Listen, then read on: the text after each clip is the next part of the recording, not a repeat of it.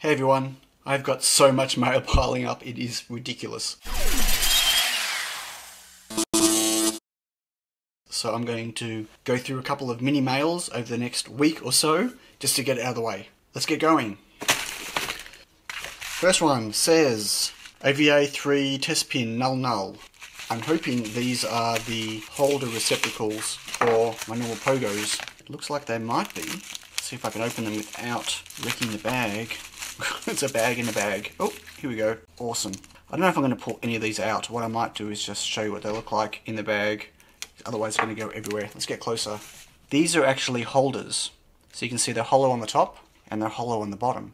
And the idea is you put these inside the PCB and then you put the pogo pins inside these so the pogo pins become removable in case they wear out or break.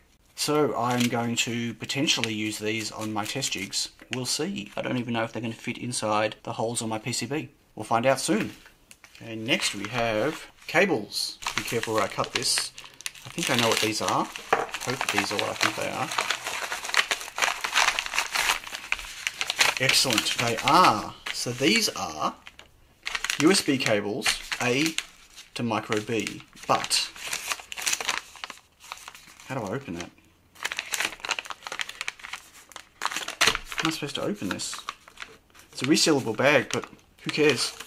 Don't even need it to be resealable. These cables have the double-sided USB micro B. Let's get it closer again. See if we can see that. Here we go. It's a double-sided connector, which means if I get myself a microcontroller from somewhere. Let's just grab this breadboard. I can plug the cable in this way and I can plug the cable in this way and both sides work. So my idea was for the test jigs for my TinyPICO was to supply these cables instead of the normal cables. That way they don't have to worry about, the testers don't have to worry about which way they put the cable in. So I'm not going to potentially break the cable, I hope. These are pretty nice cables. So I got two of them. I got one that was a meter and one that was half a meter, 50 centimeters in length, because I wanted to try the lengths of both. It's got that, I don't even know what type of cable that's called, woven something, don't even know what it's made out of. But these are really nice. Very nicely finished. So I wanted to try these. They look pretty good and I'm going to order some more. Fantastic. Next we have LCD modules times 5. Well, I think we can all guess what these are. Out we come. Okay, these are 1, 2, 3, 4, 5. All the pins are sticking out. I hope these aren't broken.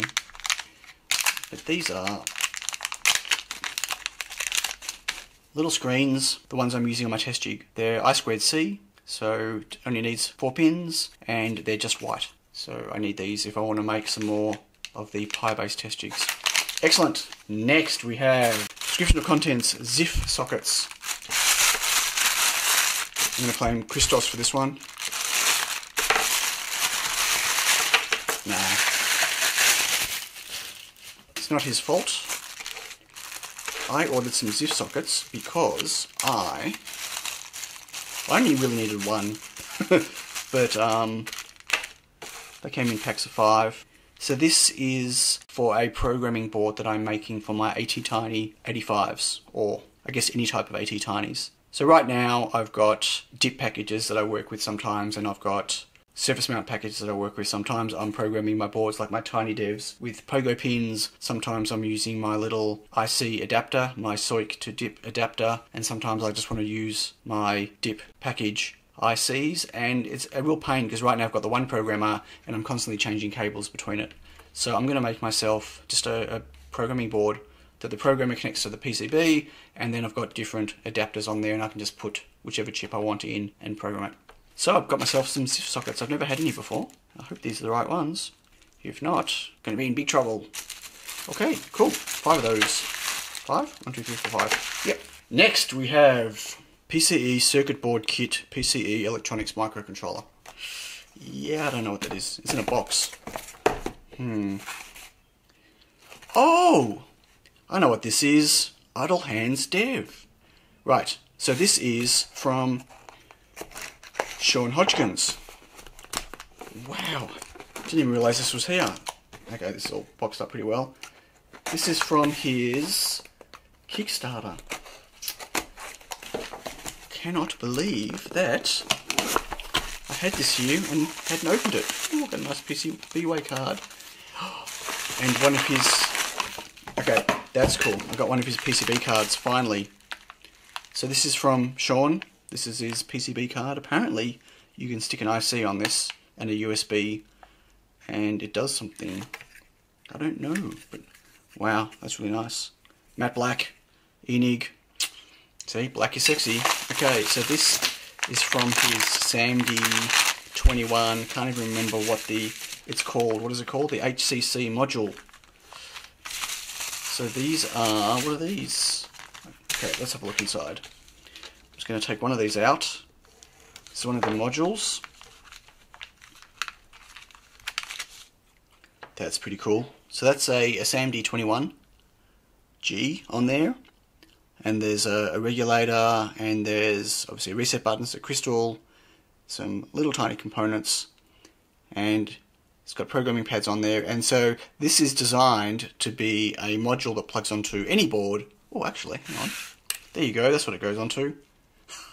Doesn't, it's not a chip. Anyway, goes onto any board and that way you don't have to rebuild all of this circuitry all the time. You can just solder a module on. So for instance, let me just open this one.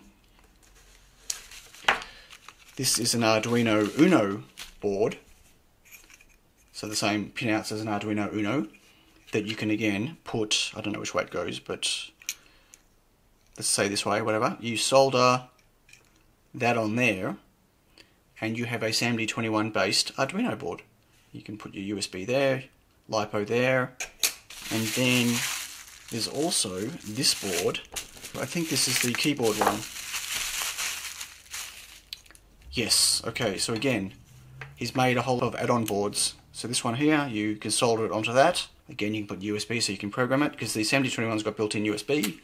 And you can put different buttons on here and you've got yourself a 2x4 button HID device because you can do human interface stuff with the SAMD. How cool is that? Thanks, Sean. I'm glad you had a successful Kickstarter. So I ordered the, the two pack of them, so I got two of them in here. And I ordered that as well, and I can't remember if I ordered this or whether Sean just put that in. Anyway, fantastic. Thanks, Sean.